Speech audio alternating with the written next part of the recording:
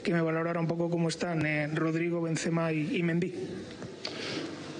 No, tenemos que evaluarlo en los próximos días. eh, no, parece cosa, no parecen cosas muy serias. eh, tenemos que evaluar. Eh, Rodrigo parece solo un golpe que le ha molestado mucho. eh, Ferlan eh, eh, ha tenido una sobrecarga al abductor. Karim en un salto mm, nos ha encontrado bien.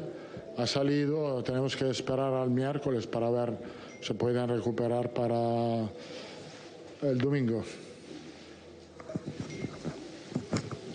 ¿Qué tal, mister? Mario Cortegana de Marca, enhorabuena por la victoria.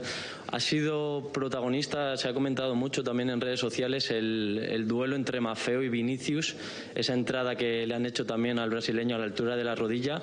Se ha vuelto el público también en contra del brasileño, que ha pasado en, en otros estadios como el día del Villarreal. ¿Le preocupa lo que está ocurriendo con el brasileño, cómo le tratan los árbitros y cómo le tratan los rivales? Gracias. Bueno, esto es el juego del fútbol, a veces puede pasar que yo creo que Mateo no tenía intención de hacerle daño al jugador.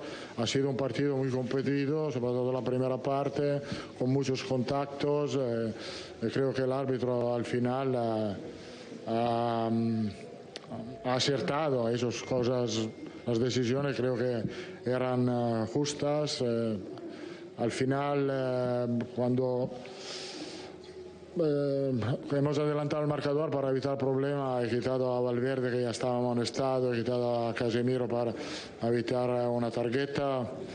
Pero me, me ha parecido un partido muy competido, eh, más correcto al final. Javi. ¿Qué tal, mister? Buenas noches, Javier Rey de la cadena SER. Enhorabuena por la, por la victoria. Quería preguntarle, los 10 puntos de ventaja sobre el segundo, el Sevilla, faltan mucha liga, 10 jornadas largas. Si le afianza muchísimo en la posición, el Barça viene el próximo domingo, o cambia algo o, o todo sigue igual, el mismo plan. Le digo, todos sabemos casi casi de memoria el 11, Casemiro, Cross, Modric. Si el caso de Valverde ya está apuntando a, a poderse meter en ese 11 inicial, ¿le cambia algo la ruta? No, no, no cambia nada, tenemos ventaja, esto es bueno. En este momento de la temporada tenemos que llegar bien al parón. Yo creo que el equipo está bien físicamente, la segunda parte la hemos hecho sobre el perfil físico muy bien. No, cambia nada, la, única cosa que eh, tenemos que pensar de ganar domingo. Y ya está. Fernando. Buenas noches, Carlos. Eh, Las matemáticas dicen que ningún equipo perdió 10 puntos de ventaja en 97 años de liga. Eh, y, y lleváis 10. Tocó hierro. Eh, ¿Tú crees que la liga, a ver, si en 28 partidos habéis perdido dos, si habéis empatado eh, cuatro, o, o- o- ¿cómo se va a perder la liga en, en los 10 últimos partidos? Mira, yo te digo que yo, como se va a perder una final de Champions League cuando tú ganas 3-0. Ha pasado. Y me ha pasado una vez y, y ojalá no me va a pasar otra vez. Miguel Ángel. ¿Qué tal, Carlos? Vino repitiendo casi desde que empezó la temporada que el equipo físicamente está bien.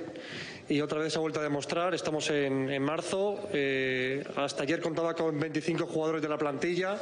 Por ese percance de Militán han sido 24.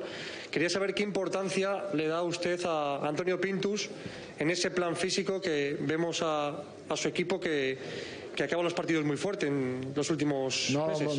Antonio está haciendo con los otros un trabajo espectacular sobre el perfil físico. Él tiene mucho respeto de los jugadores, lo- los jugadores se encuentran muy bien con él. Estamos combinando bien el trabajo, la carga física con la carga técnico-táctica. Hasta ahora ha salido bien. Tenemos un equipo que tiene calidad física eh, importante. Esto tenemos que destacarlo, pero los jugadores tienen que entrenarle.